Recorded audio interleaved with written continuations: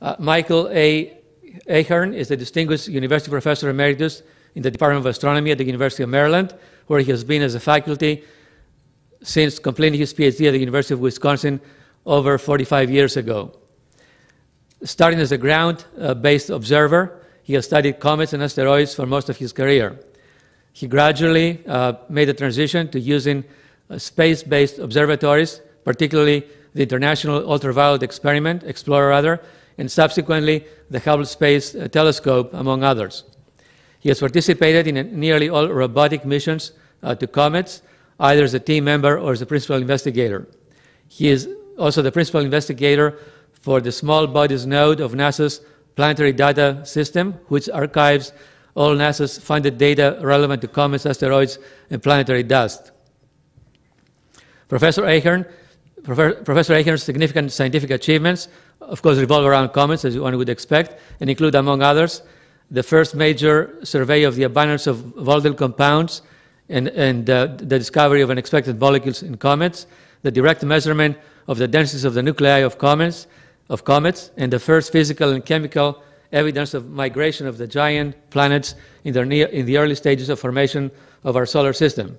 And without further ado, please join me in welcoming Professor A'Hearn to deliver his lecture on smaller bodies of the solar system, comets, asteroids, TNOs, and what they tell us about uh, planetary system, how planetary systems are formed. Professor A'Hearn.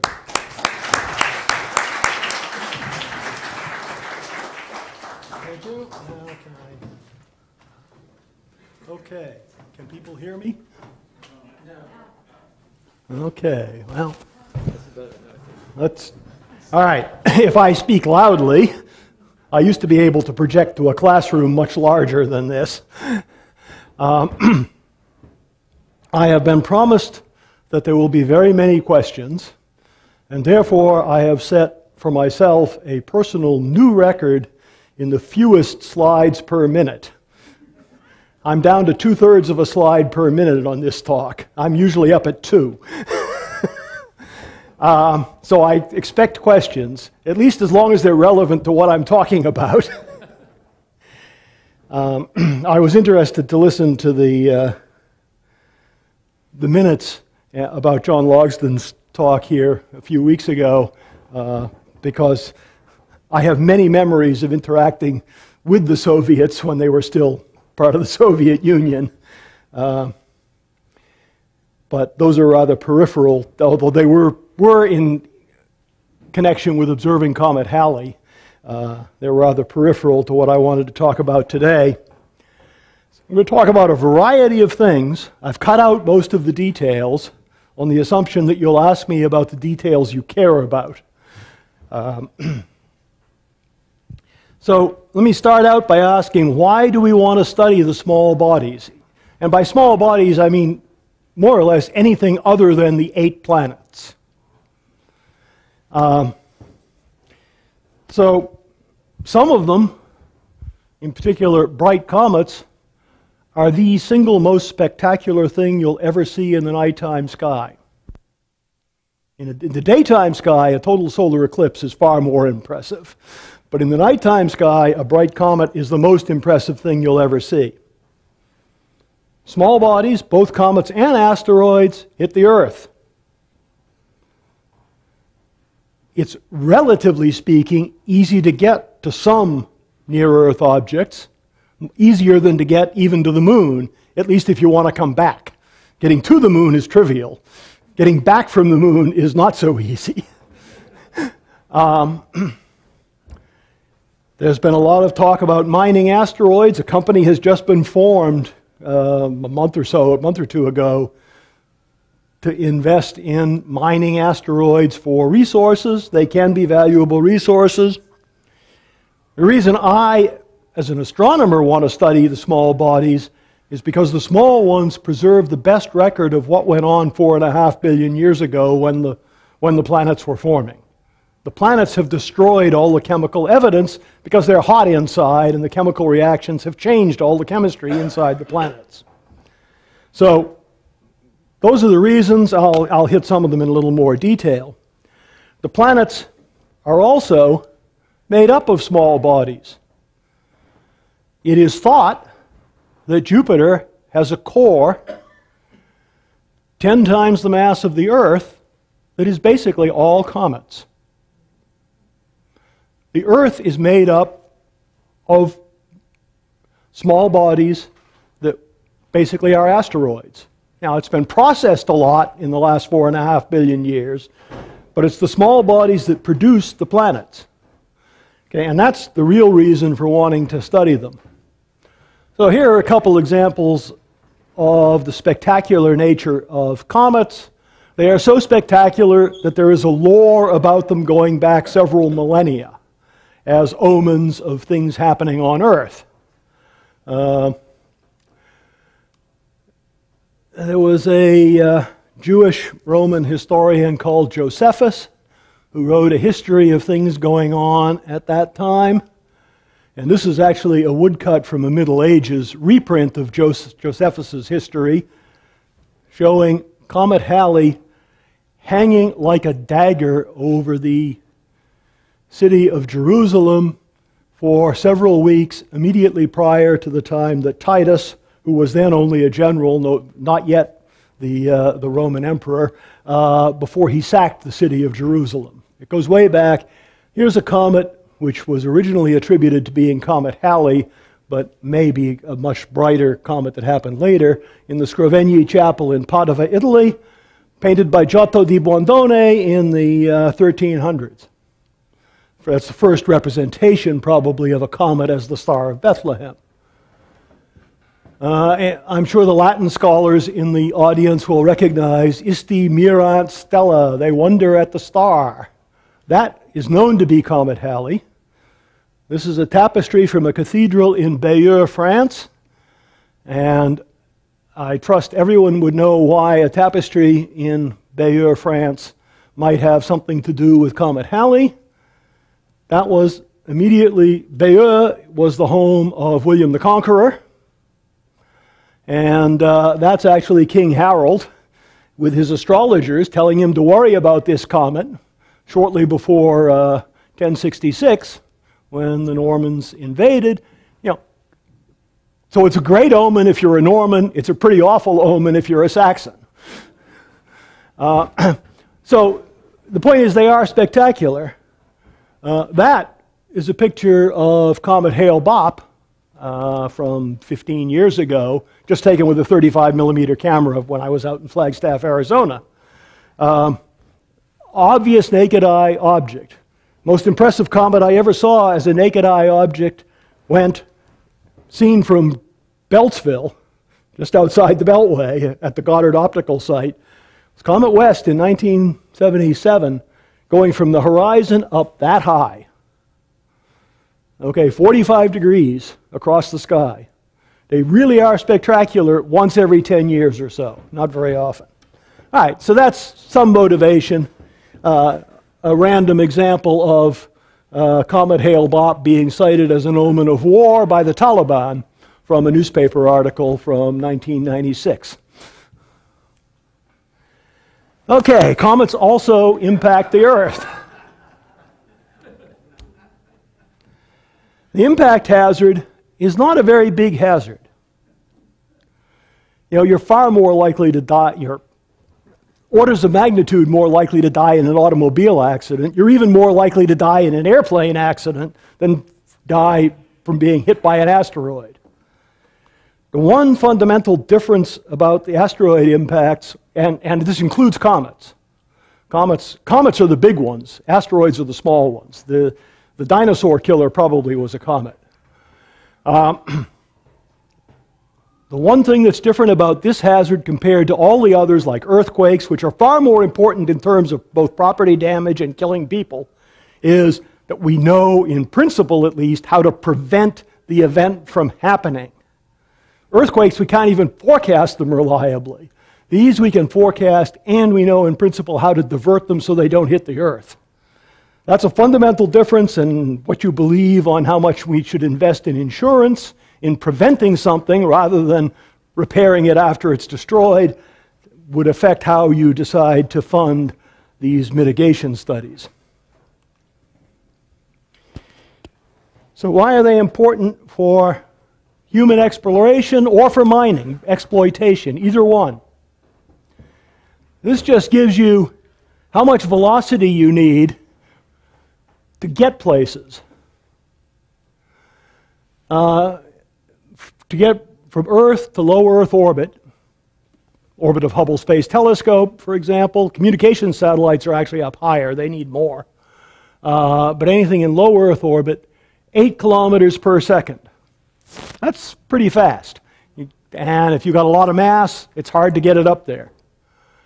Getting to an NEA requires, in addition to this, from low Earth orbit, another five and a half. Getting to the surface of the moon is actually harder. Six and a half. Getting to one of the moons of Mars, Phobos or Deimos, requires eight.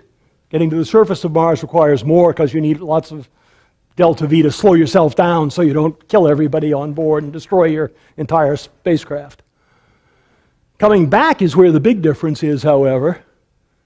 To get off of Mars from the surface, you need another five kilometers per second. From Moon, you need two.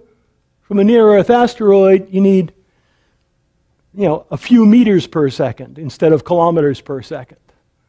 You don't have to carry a huge rocket with lots of fuel to get back Okay?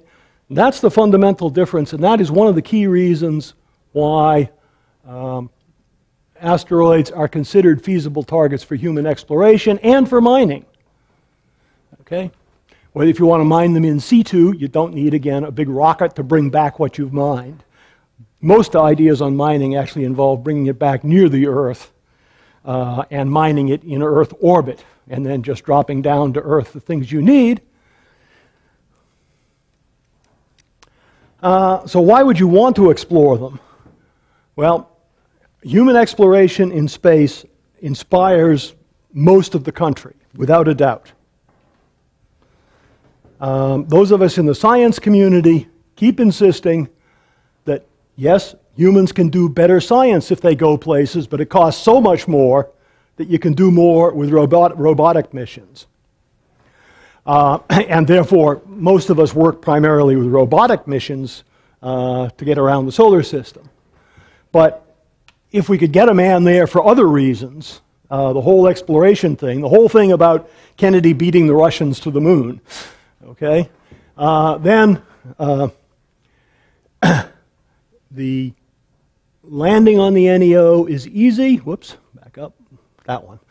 Uh, you're not landing on something, you're rendezvousing with it, just like we rendezvous with the space station, just because there's no local gravity, it's, or it's negligible. When you want to come back, you just push off. You don't need a big rocket to get away.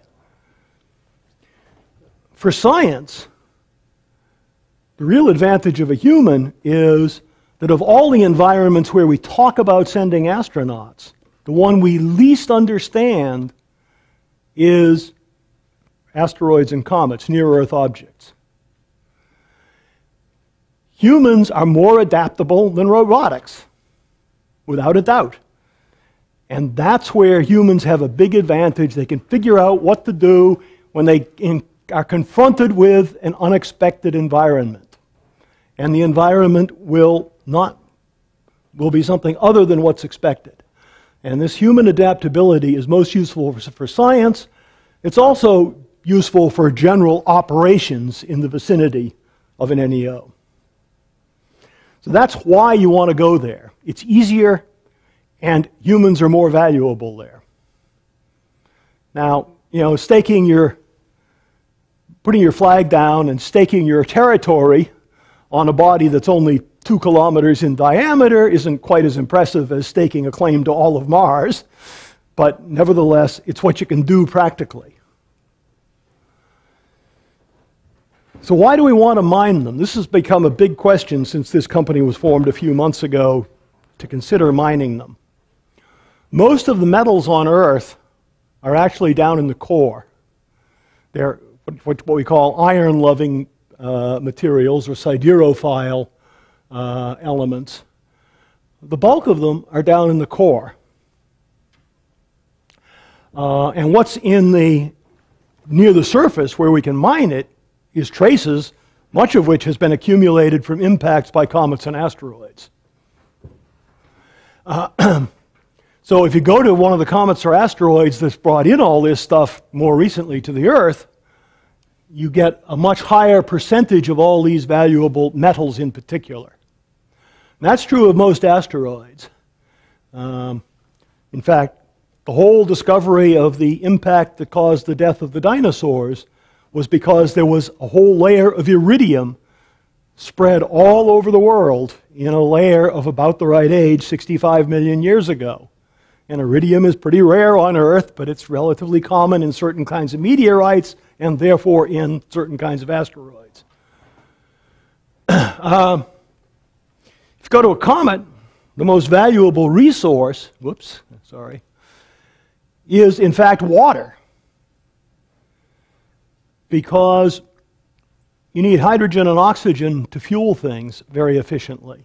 Because the recombination of hydrogen and oxygen to make water provides lots of energy. And you got a huge amount of water in comets, and not having to lift it the 11 kilometer per second escape velocity from Earth to escape, you can bring a, put a comet in near Earth, in low Earth orbit, generate your fuel there, where you only have a couple of kilometers per second more needed to escape. So it's much more efficient in the use of rockets. Uh, so those are sort of the reasons for mining. My own view is that the feasibility of any of this is several decades away. Okay? I personally am not ready to invest money. Now, maybe if I were a billionaire, I might be ready to invest money, but I'm not. Uh, I think it will happen. I think it's likely to happen, just not very soon. And I applaud the people who are trying to do it.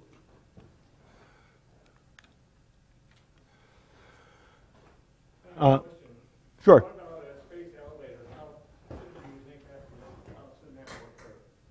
A space elevator, that's still pretty much in the concept phase, not, not what I would call the real engineering phase.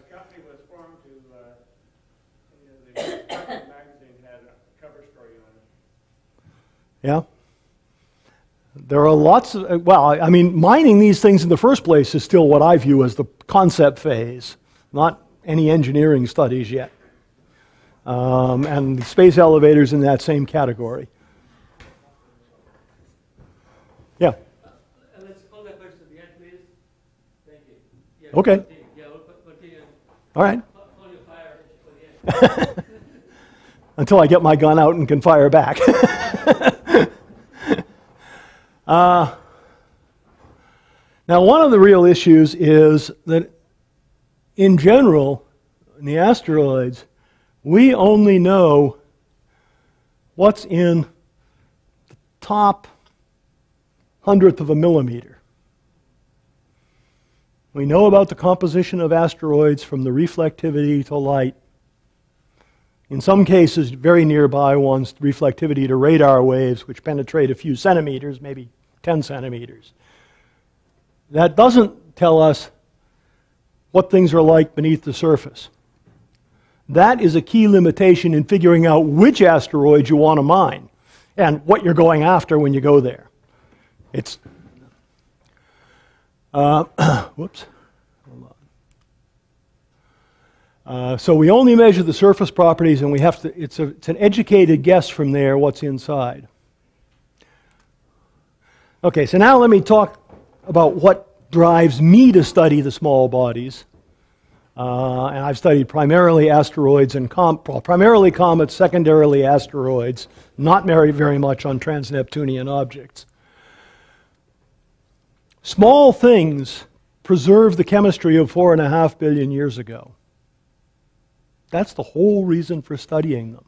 They don't have enough e- internal heat to change the chemistry. You heat things up in the Earth, due to radioactive decay, well, initially due to the gravitational collapse, subsequently due to radioactive decay of uranium, thorium, and potassium 40. And that changes the chemistry. So the chemistry is completely changed. And understanding the chemistry of four and a half billion years ago lets you understand what was going on when the planets were forming. Because the planets formed out of these comets and asteroids. So, how small is small? So, the recent definitions of what a planet is uh, are that there are eight planets, period, in our solar system. If a body is big enough that gravity overcomes strength, the body will become spherical. So if the body is spherical, it's a dwarf planet, not a planet. Uh, there's a long political history behind this. I was far too involved in it to discuss it without getting rather angry. uh, and for depending on what the material is, that's somewhere around 500 to 1,000 kilometers. So Pluto's a dwarf planet. The asteroid Ceres is a dwarf planet. Eris, which is a trans-Neptunian object, is a dwarf planet. They're, uh, they're this, this size or a little bigger. Um, so they don't preserve things. Those are changed. Something smaller, like Vesta, where the Dawn mission just went, that's clearly evolved a lot due to internal processing. It's not quite big enough that gravity overwhelms strength, so it's not very spherical. But it's between, it's maybe, it's, it's at the lower limit of this. Um, it basically does not count as a primitive body. By the time you get down to 100 kilometers, many of them have changed. When the solar system formed, there were these radioactive elements that came from nearby stars, nearby supernovae. The most important one is aluminum 26, which has a half life of 10,000 years or something like that. There's none, none left but we see it as magnesium 26. We see it as an excess of one particular kind of magnesium. Uh, those would have melted bodies bigger than 100 kilometers. Okay? So those are not primitive bodies. You probably need to get down to something like 10, maybe 20, maybe 40 kilometers, maybe 5 kilometers to get what, what, what I would call truly primitive bodies the ones that preserve all the chemistry from four and a half billion years ago. But there are a lot of those out there, and that's why I, as a scientist, want to study them. So they probably do preserve the chemistry from four and a half billion years ago. Why does the, why does the chemistry four and a half billion years ago matter? Because what molecules you have around depends on the density and the pressure as well as on the atomic abundances but the atomic abundances were the same everywhere. Near the sun, the temperature was high. Further from the sun, it was cold. Um, so this tells you something about the conditions uh, under which the planets formed. So that's the real goal here in terms of the science. So let me talk a little bit about a couple of missions that I was involved in primarily. I won't talk much about Dawn.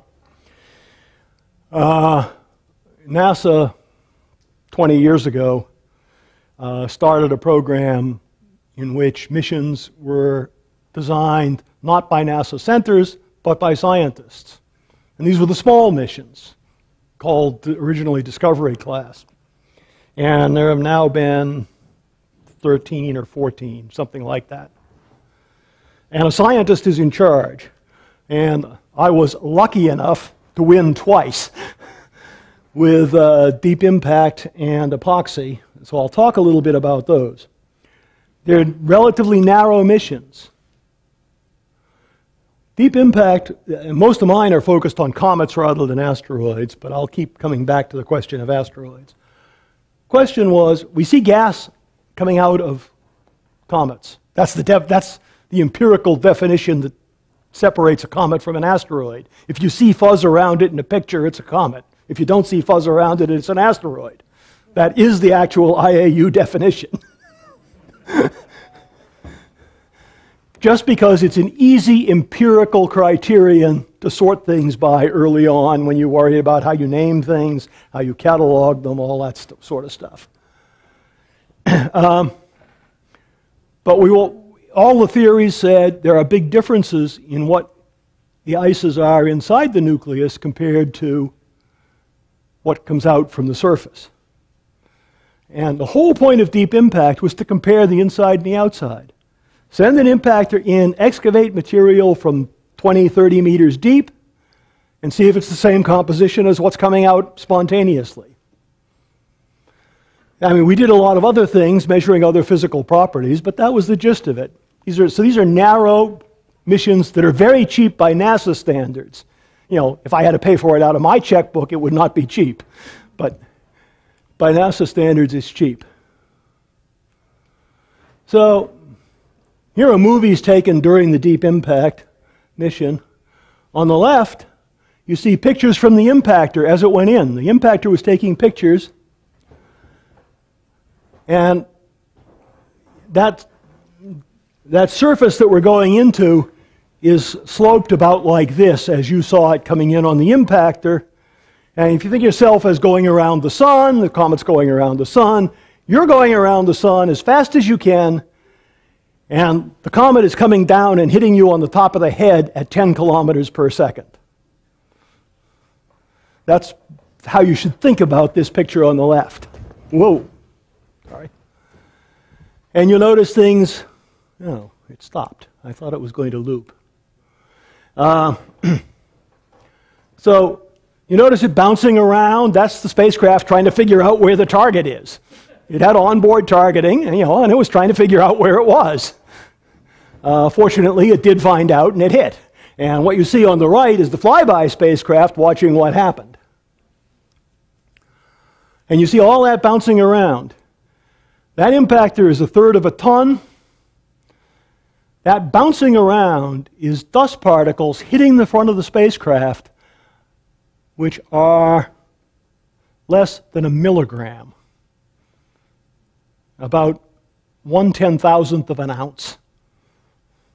That 10 kilometer per second speed is really fast, and a tiny dust particle can really bounce a very heavy spacecraft around.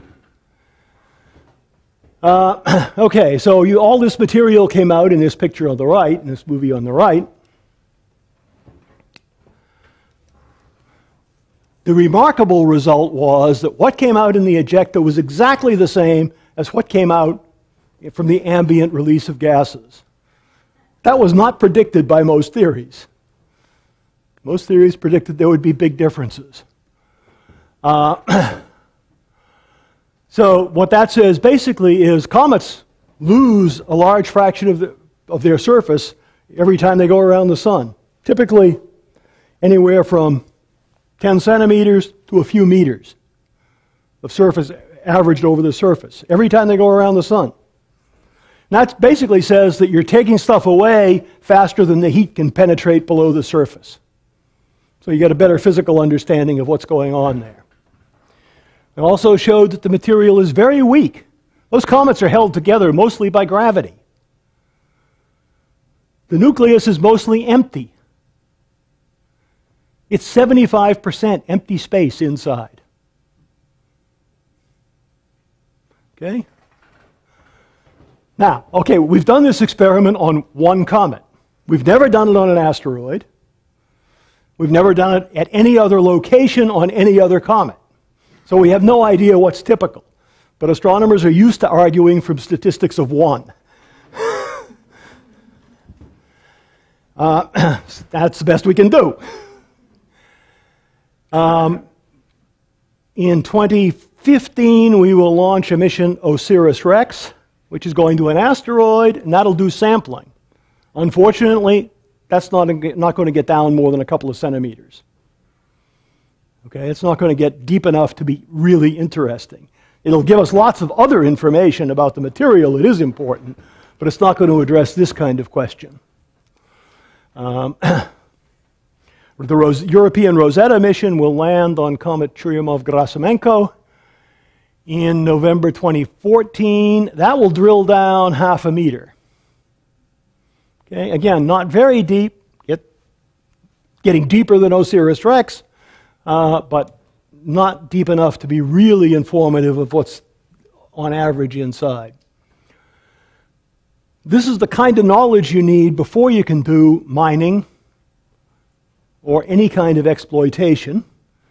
It's the kind of experiment you need to know before you can properly interpret these things for understanding the science of how the solar system formed.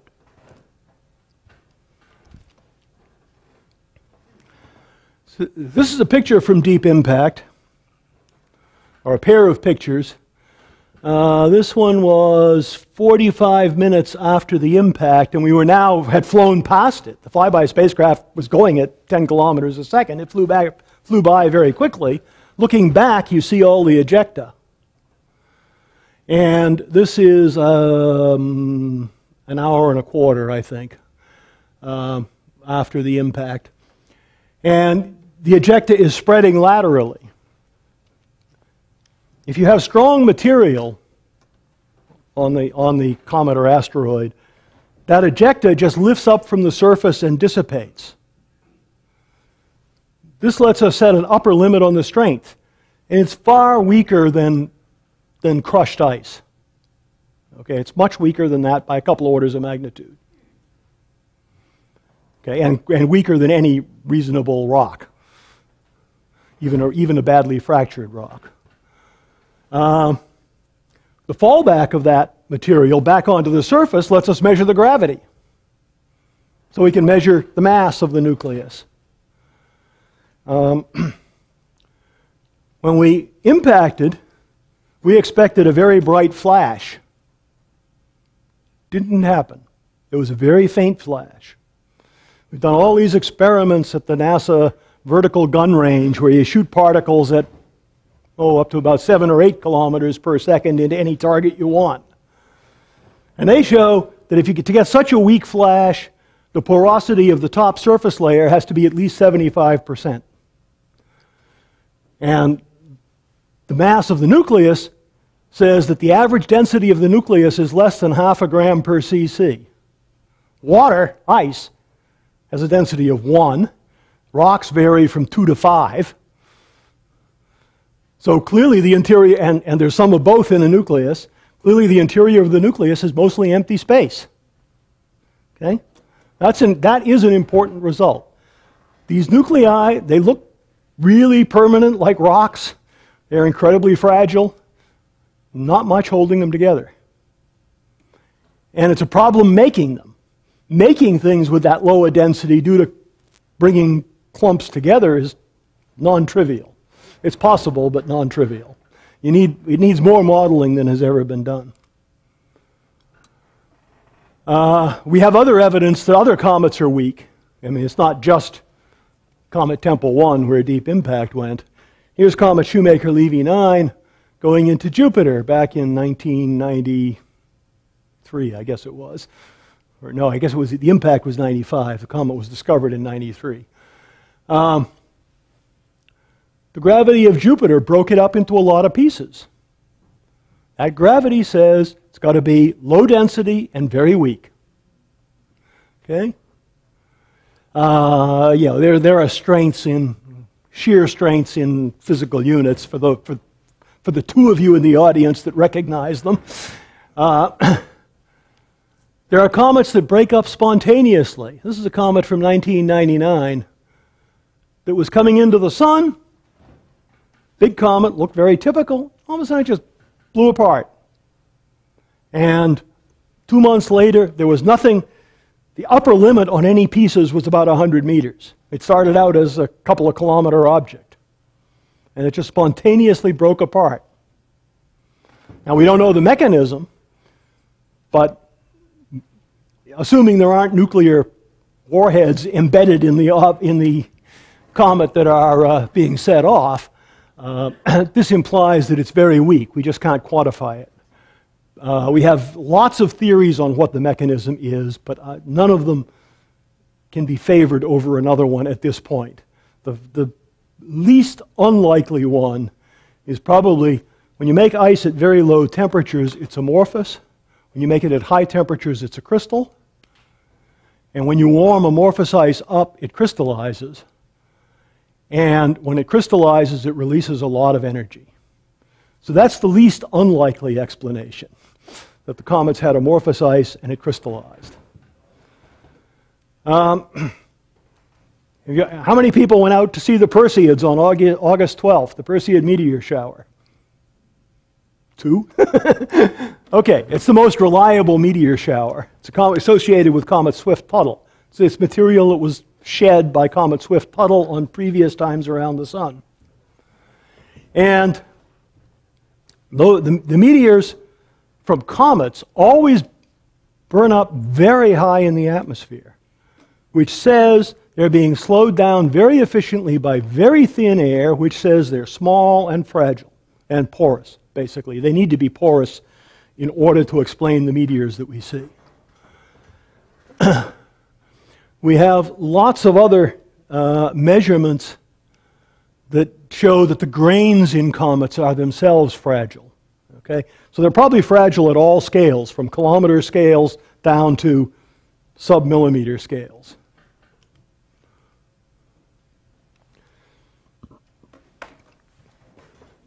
When we want to understand the origin of comets, we've got to separate out things that change, things that are evolutionary. Here are pictures of Comet Tempel 1 from five and a half years apart. Deep Impact mission went to Comet Tempel 1. Five and a half years later, the Stardust Next mission went to Comet Tempel 1. We know just from counting the material that comes off that Comet Tempel 1 loses about this much material averaged over all its surface every time it goes around the sun, about 30 centimeters, to within a factor of two or so. So we look at Comet Tempel 1 and ask, what are the changes over five and a half years, one orbital period? And this was from Deep Impact, these two. Here was the picture of the comet, the whole nucleus, and this, this area is this area right in here. And you see, you look here, here's this big extension here, it's gone. This is from Stardust Next, five and a half years later. That piece is gone. This, this gap here has gotten larger. The ridges between these three depressions are all gone, everything's collapsed. Those features are all at the scale of 10 to 40 meters. So those are changes that are really big. They're the size of this room. Okay, so those are changes the size of this room.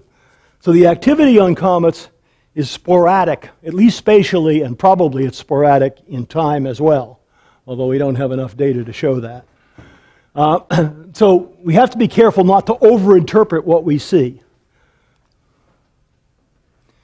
So after Deep Impact, we went back to NASA and said, hey, we have a great idea to use the one spacecraft that still works. The impactor, of course, was mostly vaporized or melted and buried in Comet Tempel 1. But the flyby spacecraft was still fine, so we asked NASA, will you give us enough money to fly it to another comet? So we went to a different comet, Comet uh, Hartley 2. Uh, the comets are named for their discoverers. And Hartley 2 means it's the second short period comet that Malcolm Hartley discovered. Uh, we actually did two things. Uh, the mission was called EPOXI, which was a combination of two other acronyms, EPIC and DIXI, which were two, two independent proposals. The head, the head, I was the head of this one, and the head of EPIC was a fellow named Drake Deming at Goddard. He and I had sort of talked about this beforehand to do this together because we could get more money. We, we couldn't fit things under the NASA cap for how much money you could have. Uh, it's sort of like a shotgun marriage when NASA said you have to put the two proposals together. Well, that's because the two principals had had certain interactions before uh, and anticipated this. I'm only going to talk about the DIXI part. Uh, it's a totally different kind of comet. So this is a movie taken as we flew by. All right, it looks like a bowling pin. It's the smallest nucleus we've ever seen, up close. But what you really want to notice is all these bright spots. All those bright spots, you know, you might think those are background stars, they're cosmic rays hitting your CCD detector. No, they aren't. Those are those because they stay as spots and they move around, they have to be very close to the nucleus. They have to be within 50 kilometers of the nucleus. Those are ice chunks. Every one of those bright spots is an ice chunk. Here's another picture. You can see them going back and forth. A star, the spacecraft is turning so fast that a star would be trailed out by this much. Okay, so they're not stars. Those are chunks of ice. And the biggest ones are that big. And they're mostly fluffy, mostly empty space, very fragile, fluffy structure of ice. That was completely unexpected. Ten years ago, we'd all been predicting we should find ice, ice chunks around comets. We never found them at Deep Space One going by Borrelly. We didn't find them, well, we didn't find them at, back in the 80s with all of the missions that went to Comet Halley. We did not find them on the Stardust mission to Comet Wild 2. We did not find them on the Deep Impact mission to Tempel 1. So we all said, okay, they aren't there. But now we finally go to Hartley 2, and oh, lo and behold, they are there. Um, so here's a picture of the nucleus up close. And it turns out that this is all carbon dioxide gas, subsurface dry ice that's coming out in jets and dragging chunks of water ice out with it. Okay? Here, there's water coming out of this part, but no ice. And there's not much of anything coming out of the other end. There's a little bit coming out here, but that's all. So, this is a completely different kind of comet than any of the others we've been to. Every time we go to a comet, we are surprised. Pardon? The sun? To the right. I've, I tr- I've tried to make the sun to the right in all the pictures, but I can't promise I succeeded. so Hartley 2 is one of these hyperactive comets. We do what I like to characterize as a spherical cow model of the nucleus. Basically, it's an oversimplified matter model that assumes the nucleus is a sphere and it's dirty ice and you ask, how much, how fast does the water sublime? You know how big the nucleus is, and for most comets, you only need 10% of the surface to explain the water.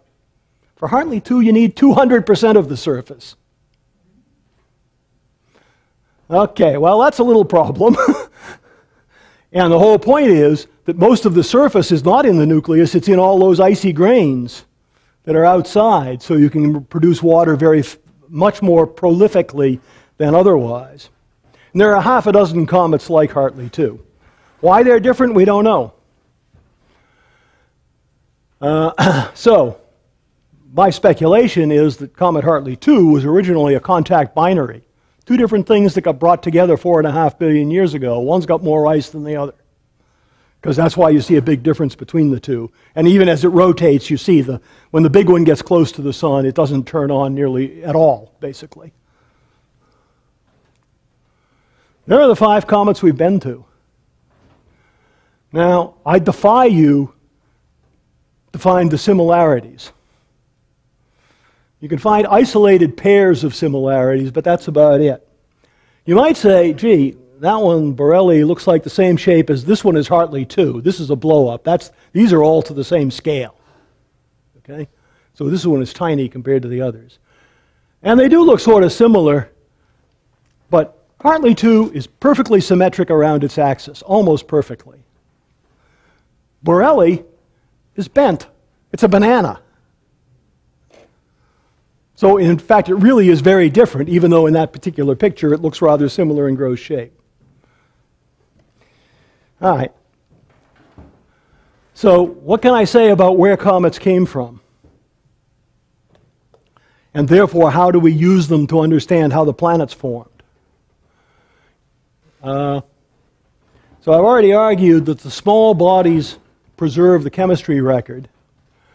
Asteroids, comets, trans-Neptunian objects, they were originally a continuum forming at just successively lower temperatures as you went out in the solar system. In this early disk, when the planets formed, there was a lot of dust. Du when, when things condense, they rapidly sink right to the middle. So you get a lot of dust, and you can't see the sun because there's so much dust in the way. So it gets cold very quickly. As soon as you get to the point where ice, where water vapor can condense as ice, and that's maybe 180 Kelvin, something like that. Uh, depends on the density and pressure, but uh, it's that ballpark, 190 Kelvin. The, as soon as you get there, there's so much hydrogen and oxygen that there's a huge amount of water in this disk. And so this disk, which just from symmetry arguments has a gradually decreasing density, has a big sudden increase where the water condenses. That's where Jupiter formed. And that's why Jupiter formed first. Jupiter formed just outside the snow line where ice can condense. Okay? There's a snow line for water ice, there's a snow line for dry ice further out. Beyond that, there's one for carbon monoxide. Carbon monoxide one is down at 30 or 40 degrees Kelvin, very cold. Uh, so these snow lines are throughout the disk.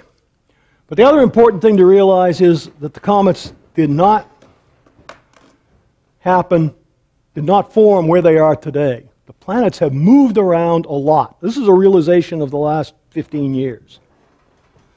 Uh, the first indications were maybe 20 years ago. So Jupiter forms from comets, then Saturn forms, eventually all the other planets form. Jupiter, Saturn, Uranus, Neptune form from comets. Uh, Mercury, Venus, Earth, and Mars form from asteroids.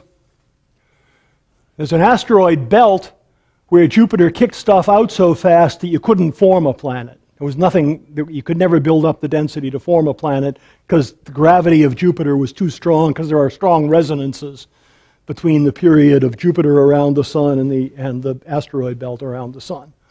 So things get mixed up and can't coalesce there. But what we realize now is that first Jupiter and Saturn moved in.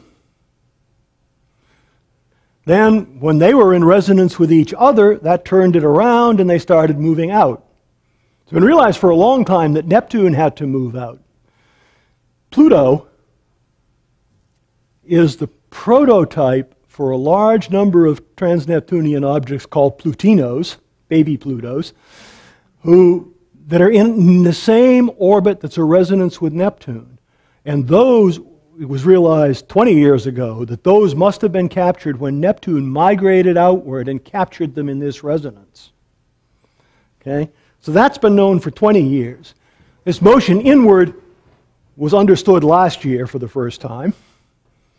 And the inward and then the reversal to go back outwards, that was all just worked out last year. That mixes up all the asteroids, mixes up the comets with the asteroids to some extent. And it says that the it's what prevents Mars from getting very large. It's that, it's that motion inward and back outward that prevents the accumulation of enough material to make a Mars the size of Earth, which is what it should have been otherwise. Okay, so we're starting to understand that. So today there are two sources of comets. Comets are ice, largely ice, you know, probably 50% ice, which says they don't last forever. Comet Hartley 2 is losing, on average, five meters of material everywhere on the surface, you know, from the floor to the ceiling here.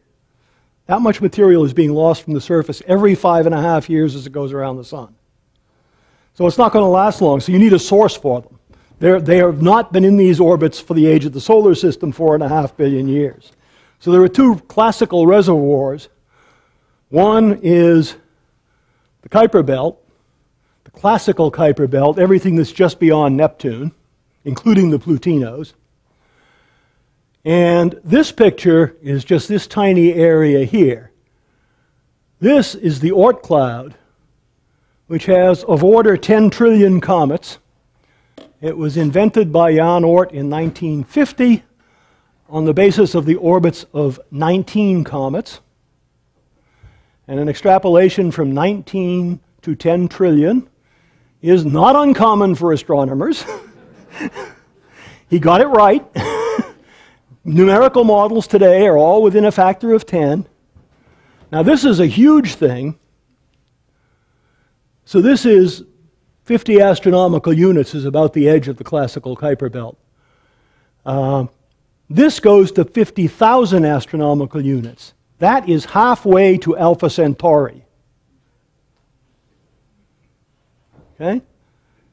That Alpha Centauri is the second nearest star, not as close as the Sun, but the nearest other one, and that goes halfway to it.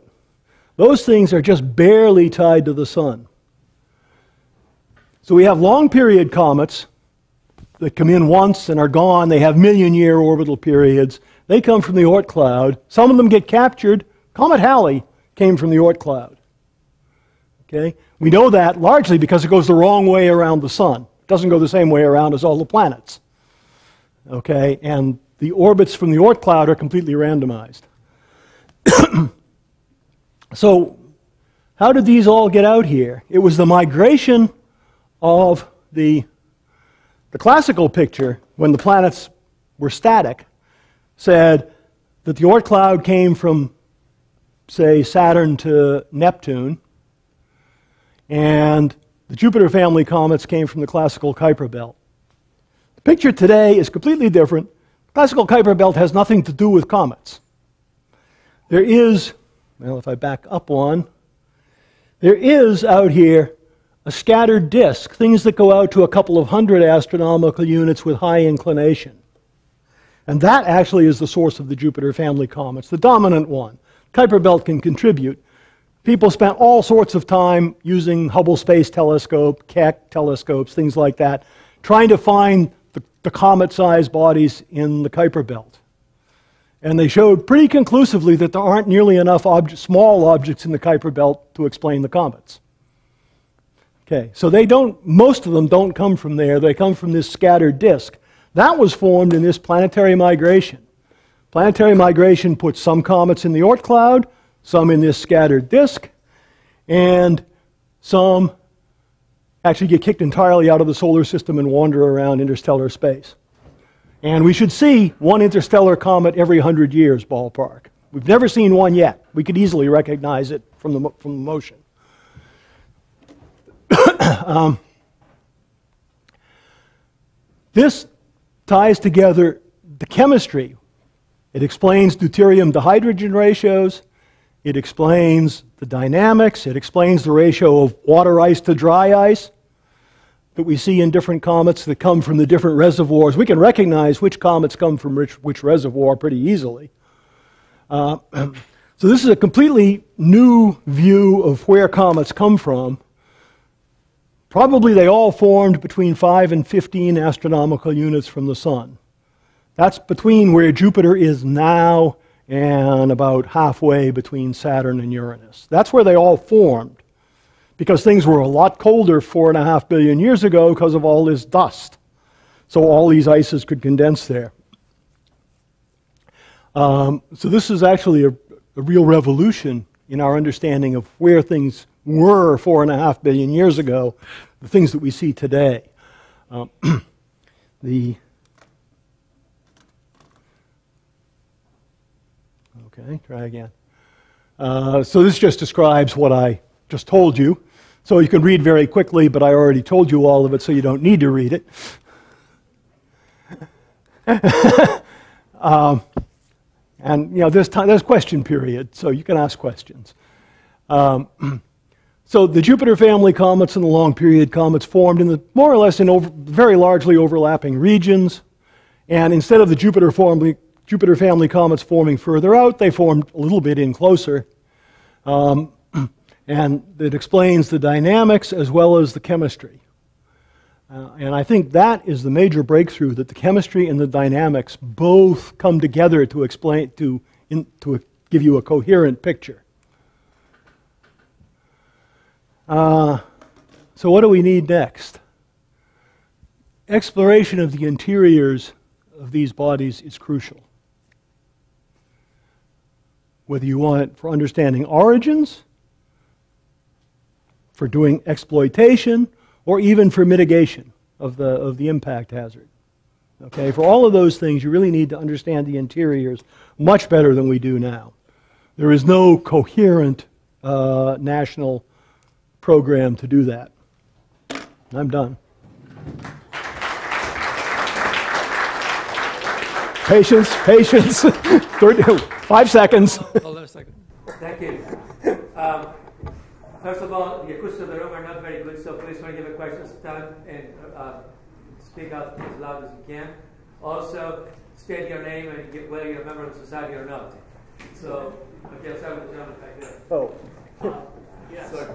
I wanted to ask you, What's your uh, my name is Jay, and uh, I wanted to ask you, uh, for uh, astronauts who go out into space, is it safe for them to be on comets or asteroids? Uh, well, as long as you have an astronaut named Bruce Willis, uh, you can cope with anything. uh, yes, it actually is perfectly safe. The movie with Bruce Willis is totally physically unrealistic. The conditions are not remotely like that. Uh, there is no danger in going to an asteroid. The danger in going to a comet is very small. The biggest danger, in fact, is solar flares while you're getting there. that's the biggest danger. And that's the one I would worry about before I'd ever go anywhere out there. Go ahead. Um, Bob Terry, yes, I remember. You, you said that you thought the dinosaur killer was uh, the comet, yep. but then you said the dinosaur killer left iridium. How would a comet have iridium? And wouldn't a comet have a hard time punching the atmosphere and how much, you know, how much mass and so forth? How, how do you square those two concepts when you, because most explanations I've heard think we're talking about an iron meteorite. No, it's definitely not an iron meteorite. Well, or, or at least The core samples, uh, you know, the, the, the impact site was discovered by Pemex, the Mexican oil company, as part of their oil exploration. So they have lots of core samples. And because the material is down so deep, the core samples are very compressed. And they are consistent with a cometary composition or um, an asteroid meteorite of carbonaceous chondrite type. Either one, what we would call a primitive asteroid. They're consistent with either one. Gene Shoemaker used to make the argument before he died, used to make the argument that it must have been a comet just on the size distribution arguments, because there were lots of comets that size. There are no hardly there are no near Earth asteroids that size, because you need a, something bigger than 10 kilometers in diameter. Where does the iridium come? Why can't a comet have iridium? I don't know, but you haven't Com- found any in there, have you? No, but that's because we haven't done any measurement that's even remotely sensitive enough to find it. Okay. You could still get. Yeah, the, uh, what you have to remember is that the asteroids to the comets is a continuum. And all the refractory stuff that's in asteroids must be in comets. The comets have ice added, various kinds of ices depending on how cold it was. So the iridium should still be there. Let's say, what's this side, Tim? Oh, Yes, um, uh, uh, we have a spaceship uh, Voyager who left the Yes. um, solar system. I assume that in some future it will be captured by a sun and have a comet-like characteristic. My question No, be, won't. or uh, my question is, if one were to come here, would you be able to tell it instantly from any other Yes. object? The, And how?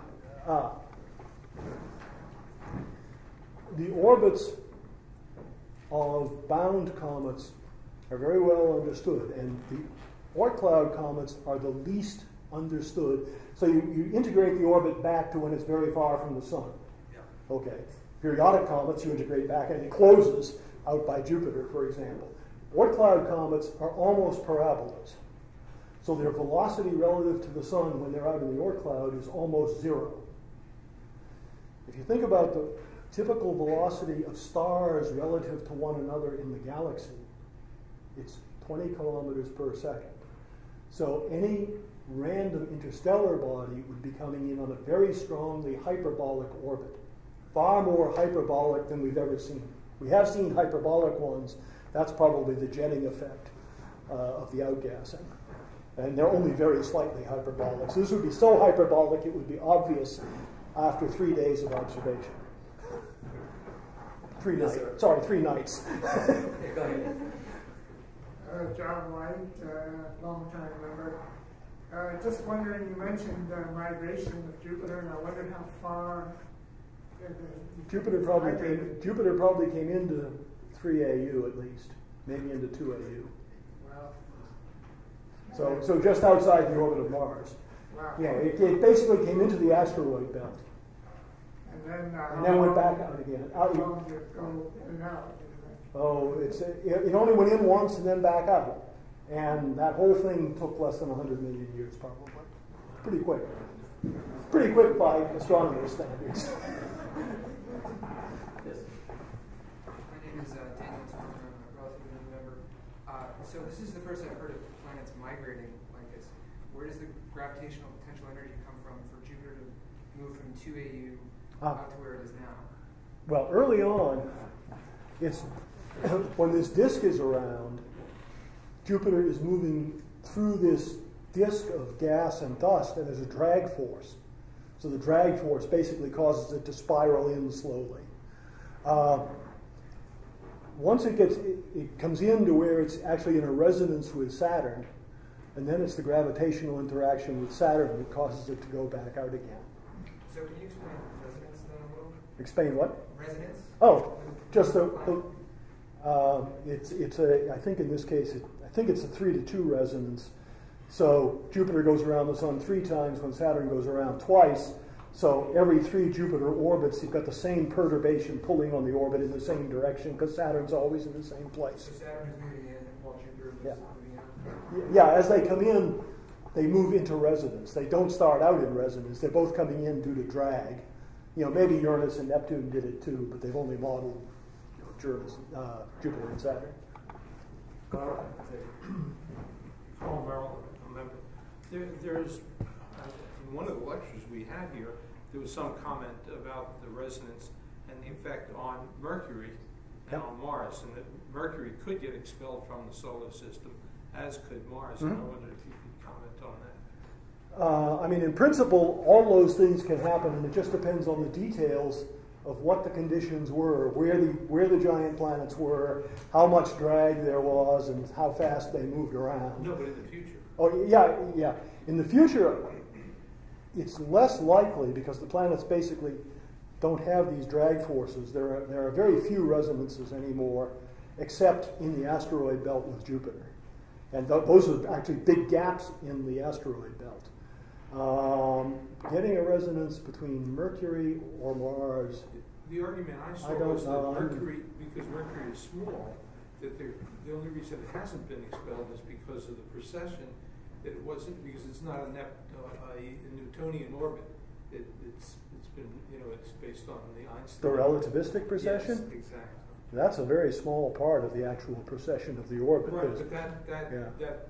That's that enough to ma- the resonance. Maybe I haven't. I have not studied that. I, I, I won't comment any further. Sometimes I'm willing to get myself in trouble, but not on that one. Uh, Mike Green, I'm a relatively new member. I have two quick questions. One, a number of years ago, I read a book by, I believe the author was named uh, Frank. And Lou he said the oceans were filling up with water Yes. due to the influx of small comets. Yep. Do you have a comment on that? And my second question was, every 300 years, supposedly, a nova goes off in the galaxy. yes. Does this have an effect on all these comets? Yes. Uh, so, the first question. Most of us think that Lou Frank is interpreting noise in the data. Lou Frank is, sees this rain of comets in his, in his from a satellite that's looking down on the Earth's atmosphere. right, right.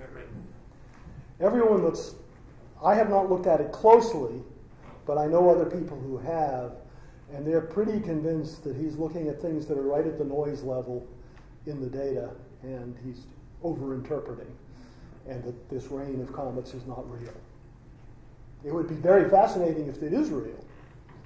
Uh, but other people, if you if you look at the distribution of frequency of close approaches with size, this would be four or five orders of magnitude out of line with any reasonable extrapolation from the bigger ones that we know about. It's not impossible, but it seems very unlikely. Um, and I think he's almost alone in thinking that this is real, or maybe some people in his group agree with him. Uh, I, the, even the Navy has gotten worried about this and devoted assets to it, uh, to, to, looking for them and not found them. The um, I'm sorry, what was the other question now? About the uh, novas that oh, the novas, every, yeah, uh, right. 100, about 300 years in each galaxy. Okay. There are two different aspects of supernovae in our galaxy that are relevant. One, the, the, the very the frequent supernova occurrences uh, in our galaxy. There are enough of them close that the comets out in the Oort cloud, which would normally be about 10 degrees Kelvin, get warmed up to maybe 30 degrees Kelvin if there's a supernova nearby. Okay? And so that's probably happened. They have been transiently warmed to 30 or 40 degrees. How deep that penetrates, we don't know. The, the, the thermal conductivity of comets is almost zero. So the heat doesn't penetrate very effectively. So it may be only the very surface layer, maybe 10 meters. Uh, 10 meters would make the heating effect comparable to the cosmic ray or radiation. The galactic cosmic rays basically break every chemical bond in the outer 10 meters of a common Oort cloud over four and a half billion years. So that's one aspect. The other aspect of the supernovae is that because we see this very clear evidence of a huge excess of the magnesium 26 isotope, it has to have come from aluminum 26. And aluminum 26 has a half life of tens of thousands of years. It's made in supernovae, and it's widely thought that a supernova nearby actually triggered the collapse to, to get the sun going and the disk forming, and also introduced on a longer time scale the uh, aluminum 26 that was ejected in the supernova. And there are other there are other extinct radioactivities, but aluminum 26 is probably the most abundant one. Yes, sir. My name's Ken Buzz. I'm not a member here. I got a couple of questions. Though. What's the temperature of a comet, and what is the ambient pressure that it is in in space? The ambient pressure is zero. zero to anything I can measure. I'm thinking in terms of ultra high vacuum systems, say uh, systems that we use here. We can hit say 10 to the minus 10 torr. Is this several orders Oh, of magnitude? okay. In general. Suppose you, suppose you bring a comet in to one astronomical unit, so it's outgassing a lot. Okay, you put the comet at the center of the Earth, and you, you see this big coma which extends to the moon. Okay, if you're on the surface of the Earth, the density of that gas that's being being evaporated rapidly is about equal to a roughing pump. A roughing pump, a very crude vacuum pump, basically. what you do to start the system before you put the real vacuum pumps on. uh, so, but when it's out far from the sun, it's the pressure is negligible compared to any vacuum system on Earth. The second question is maybe I misunderstood one of your slides, but you mentioned in order to mine the comet, you would bring it close to the Earth and probably place it in orbit and mine it close by. Uh, well, various ideas have been proposed. Bringing, mining it in situ where you find it is one, and then bringing the mined materials back. Bringing it back and putting it in Earth orbit is another one. Whether, which one you do probably depends on how big it is and how easy it is to bring it back. That's right, yeah, mining in that That, that was in situ. Thank Yeah, you. small ones you can bring back, big ones you can't. Yes, sir. That's good. Uh, Murray Little, not a member. Uh, regarding this point about the mining, uh, would you envision extraction of the uh, metals to be done there or here, or how would that happen? Uh, I would envision doing it either where you find the asteroid or in Earth orbit. I would not envision it bringing it down to the surface of the Earth, just because trying to get reentry of a body that big is going likely to be devastating. One argument's been made that if you were to crush the material to begin the extraction, Yep. you have this enormous amount of dust that's going to be uh, not moving. yes. So is, is, how do you handle it? How do you handle that? Uh, I have not looked closely into mining stuff. You know, I've been to one or two meetings about it, but I haven't looked at it closely. Um, you don't want the dust to come down on the earth because then it's night for a couple of years. um, it makes a very difficult environment for mechanical structures. Anything with moving parts is going to have a problem in a dusty environment. So you have to find a way to collect it, for sure, no matter what you do. Um, this OSIRIS REx mission that I mentioned is going to an asteroid to bring a sample back. They've created a vacuum cleaner. They basically bring a canister of compressed air, or probably compressed nitrogen, I think it is. So they blow the stuff into the into a collector. So something like that is probably what you'd have to do. Thank you very much.